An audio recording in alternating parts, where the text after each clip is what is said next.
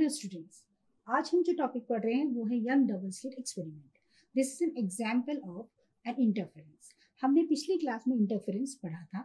Interference means redistribution of intensity जहाँ पे हमने देखा था कि अगर एक सोर्स से को हम स्लिट लगाकर दो सोर्स में डिवाइड करते हैं, और वो सोर्स जो है आपका कोरेंट है मोनोक्रोमैटिक कोरेंट है, आपका सेम फेस में लाइट ट्रेवल कर रही है एम्पलीट्यूड सेम होगा और अगर एक का क्रस्ट दूसरे की क्रस्ट के ऊपर सुपर इम्पोज होता है या एक का ट्रफ दूसरे की ट्रफ के ऊपर सुपर इम्पोज होता है तो we will get a maximum intensity and अगर एक का क्रस्ट दूसरे के ट्रफ के ऊपर सुपर इम्पोज होता है तो वो आपको मिलता है मिनिमम इंटेंसिटी तो यहाँ पर हम देख रहे हैं कि डिस्ट्रीब्यूशन ऑफ़ इंटेंसिटी कैसे होगा और प्लस हम यहाँ पर ये देख रहे हैं कि फ्रिंज जो बन रही है, जिसे हम डिस्ट्रीब्यूशन ऑफ़ इंटेंसिटी कह रहे हैं अल्टरनेट ब्राइट एंड डार्क जहाँ पर सुपर इम्पोजिशन होने से इंटेंसिटी बड़ी है, उसे हम कहते हैं ब्राइट और जहाँ पे इंटेंसिटी कम हुई है, वहाँ पर हम कहते हैं डार्क या आपका जो ट्रफ रीजन था. तो अब डिस्ट्रीब्यूशन ऑफ़ इंटेंसिटी के कारण जो फ्रिंज जिसे हम फ्रिंज कह रहे हैं, उसकी वृद्ध चौड़ाई कितनी होगी, वो भी हम इस एक्सपेरिमेंट से निकाल सकते हैं. तो हम अगर यहाँ पर देखें तो हमारे पास एक सोर्स हमने लिया है। कोशिश करेंगे कि हमारा सोर्स मोनोक्रोमेटिक इन नेचर हो मतलब एक वेवलेंथ का हो। यहाँ से जो लाइट ट्रेवल हो रही है यहाँ पर हमने दो पिन होल सोर्स स्लिट बना रखी है। या तो हम आ, एक कार्डबोर्ड रख सकते हैं उसमें पिन होल कर सकते हैं या फिर हम यहाँ पे दो स्लिट्स लगा सकते हैं डबल स्लिट जिनकी चौड़ाई दोनों की एक जैसी है। जैसे ही यहाँ से सोर्स से लाइट आई ये ट्रेवल करेगा। और ये जैसा हमने पिछली क्लास में हाइजेनबर्ग के प्रिंसिपल में पढ़ा है कि वेव फ्रंट में जितने भी पॉइंट्स होते हैं, वो अपने आप में सोर्स की तरह काम करते हैं। अब जैसे जैसे ये वेव फ्रंट आगे की तरफ़ प्रपोगेट कर रहा है, यहाँ पर आपने क्या कर रखा है? ये स्लिट लगा रखी अब ये स्लिट जैसे ये वेव फ्रंट ट्रेवल करा तो उसमें से ये जो है, अपने आप में अगर मैं मानू कि यहाँ पे पॉइंट सोर्स की तरह काम कर रहा है तो ये वेव फ्रंट यहाँ पे निकला और ये वेव फ्रंट यहाँ से। इसके कारण क्या हुआ? ये सुपर इम्पोज उनके कारण हमें alternate bright and dark fringe मिल रही। अभी हम ये मान ले रहे हैं कि इस पी पोजीशन पे हमको अब कुछ डिस्ट्रीब्यूशन ऑफ़ इंटेंसिटी मिल रहा। है ठीक है? तो यहाँ पर हमारा एक बात अगर हम देखें कि अगर कोई ऑब्स्टिकल नहीं होता तो यहाँ पर क्या होता? लाइट जो है वो स्ट्रेट लाइन में ट्रेवल करती है और हमें सेंटर पॉइंट ओपन मिलती है। ठीक है? अब यहाँ पर इंटरफेरेंस होने के कारण हमें ये जो एक्स वाई आपको दिख रहा है, वो है स्क्रीन एस वन और एस टू जो है हमारी वो है स्लिट ठीक है? जो पिन होल स्लिट्स है इससे लाइट सर्टन एंगल से डिविएट हुई और उनके सुपर इम्पोजिशन के कारण हमें यहाँ पर इंटरफेरेंस पैटर्न जो मिल रहा है। अब हम अगर यहाँ पर देखें तो ये आपको एक ट्रायंगल नज़र आ रहा होगा, यहाँ पर भी एक ट्रायंगल नज़र आ रहा होगा। तो हम पहले इसको सॉल्व करते हैं और देखते हैं कि फ्रिंज विड्थ कैसी होगी डिस्ट्रीब्यूशन कैसा होगा। तो पहला मैं ट्रायंगल ले ले रही हूँ आपका एस वन पी क्यू ठीक है? आप यहाँ पर देख पा रहे हैं, एक ये ये और ये, ठीक है? आप, अगर आप यहाँ पे देखेंगे तो मैंने ये कहा एक्स वाई जो है वो स्क्रीन है और जैसा हम पहले पढ़ चुके हैं कि इंटरफेरेंस होने के लिए स्क्रीन की साइज़ बड़ी होनी चाहिए distance between the slit and the screen ज़्यादा होना चाहिए as compare to that separation between the two slits जितना कम होगा उतना ज़्यादा अच्छा।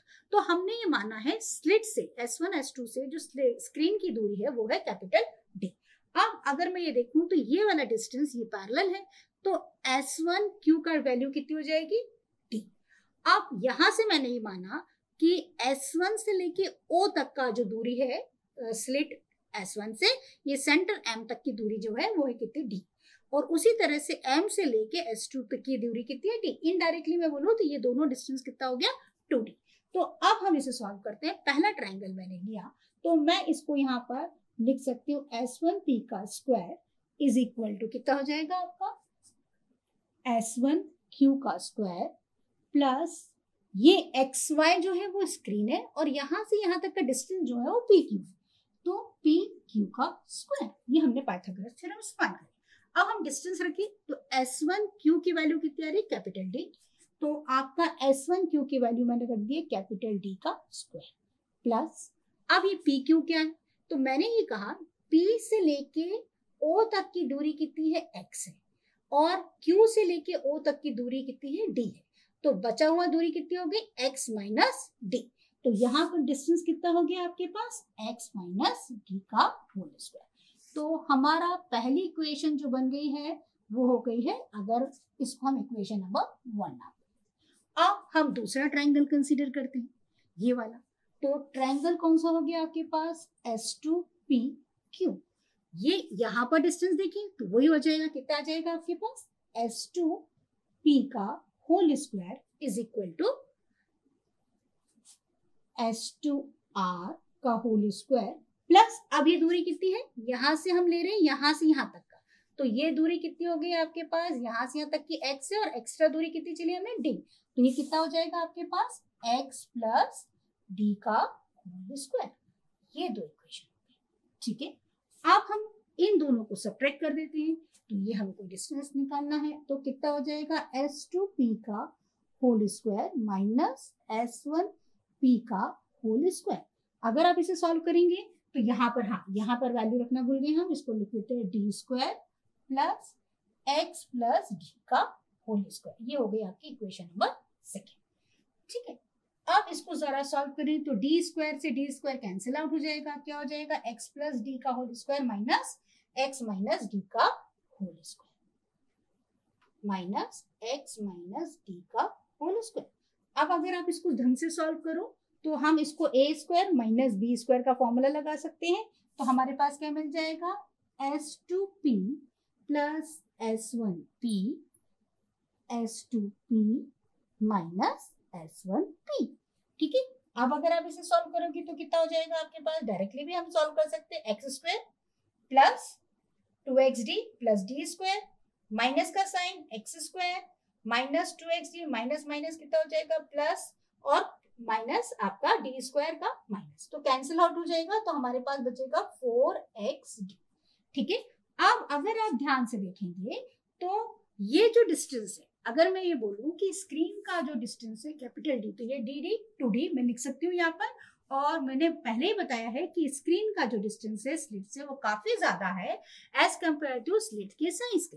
तो हम उसको काफ़ी मतलब उसमें एरर की भी अगर हम संभावना को देखें तो काफ़ी ना के बराबर होगी। तो मैं इसको लिख दे रही हूँ टू डी इंटू कितना हो जाएगा? S two P minus S one P is equal to four x of d तो हमारे पास वैल्यू हो जाएगी S two P minus S one P is equal to हो गया four x d upon two d तो हम उसको कैंसिल आउट कर सकते हैं। It will come out to be two x d by तो अभी हमने जैसे देखा कि आपने ये जो वैल्यू निकाली, इसको सॉल्व करके हमारे पास एक इक्वेशन बन गई, है ना?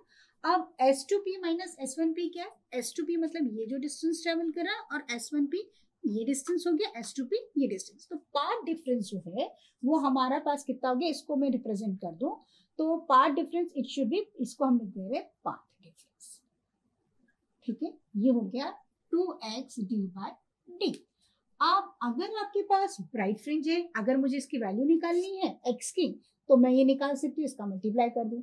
या पार्ट डिफरेंस अगर मैं फॉर अ ब्राइट रिंग की बात करूँ, क्योंकि अगर मैं ये बोलूँ कि यहाँ सर S1 और S2 क्योंकि यहाँ का डिस्टेंस इक्वी डिस्टेंस है तो यहाँ पर पार्ट डिफरेंस सेंटर पे क्या होगा? ज़ीरो तो यहाँ पे हमको क्या मिलेगा? मैक्सिमम मतलब इंटेंसिटी ज़्यादा मिले। अब ये पी पॉइंट पे इंटेंसिटी कम भी हो सकती है, ज़्यादा भी हो सकती है, ठीक है? तो अगर मैं condition for a bright ring या फॉर ब्राइट फ्रिंज बोल दू ठीक है? तो कितना होना चाहिए? It should be n lambda two x d by d is equal to n lambda तो एक्स की वैल्यू कितनी हो गई आपके पास? N lambda d by two d ठीक है? ये आपके लिए इक्वेशन नंबर फोर हो गई फॉर अ ब्राइट रिंग अगर हम इसी को डार्क रिंग के लिए डार्क फ्रिंज के लिए करें तो कितना हो जाएगा? फॉर अ डार्क केस के लिए कितना हो जाएगा? It will be two n plus one lambda by तो ये हो गया two x d by d is equal to two n plus one lambda by two. ठीक है?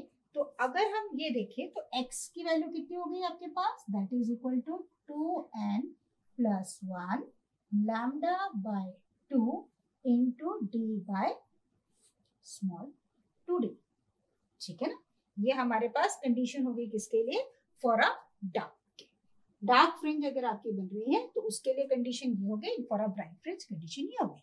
अब दो ब्राइट या दो डार्क के बीच का जो डिस्टेंस है, उसे हम क्या कहते हैं? फ्रिंज विड्थ ठीक है? तो फ्रिंज विड्थ यानी अगर मैं मान लू, चाहे तो मैं इससे सॉल्व कर सकती हूँ, चाहे मैं इससे सॉल्व कर सकती हूँ, अभी हम ब्राइट फ्रिंज के लिए लेते हैं। लेट अस सपोज़ पहली फ्रिंज थी एनथ तो मेरी कंडीशन क्या हो गई? N lambda d upon two d और एक फ्रिंज हो गई एन प्लस वन दूसरी ब्राइट फ्रिंज है जो वो है एन प्लस वन पोजिशन पे. N plus one lambda d by two d तो फ्रिंज विड्थ जिसको हम रिप्रेजेंट करते हैं बीटा से, वो कितना हो गया? X n plus one minus x n तो इसकी वैल्यू अगर हम रख दें यहाँ पे तो कितना हो जाएगा? N plus one lambda d by two d minus n lambda d by two d अब आप इसे सॉल्व कर लीजिए तो कितना जाएगा? अंदर multiply n lambda d by two d plus lambda d by two d minus n lambda d by two d so ये कैंसिल आउट हो गया। तो फ्रिंज विड्थ आपकी कितनी आ गई है? Lambda d upon two d ठीक है? तो आप यहाँ पर देख पा रहे हैं कि जो फ्रिंज विड्थ है वो कितनी हो गई? लैम्डा डी अपॉन डी मतलब फ्रिंज विड्थ किसके ऊपर डिपेंड कर रही है? सोर्स और स्क्रीन, सिलेट और स्क्रीन के बीच का जो सेपरेशन है, उसके ऊपर अगर वो ज़्यादा है तो फ्रिंज विड्थ ज़्यादा होगी। टू डी क्या है? सेपरेशन है बिटवीन द सोर्स एंड ये दो स्लिट के बीच का सेपरेशन है। तो जैसा हमने कंडीशन बोली थी कि जो स्लिट के बीच का सेपरेशन है, वो काफ़ी कम होना चाहिए स्क्रीन साइज़ बड़ी होना चाहिए स्लिट और स्क्रीन के बीच का सेपरेशन ज़्यादा होना चाहिए।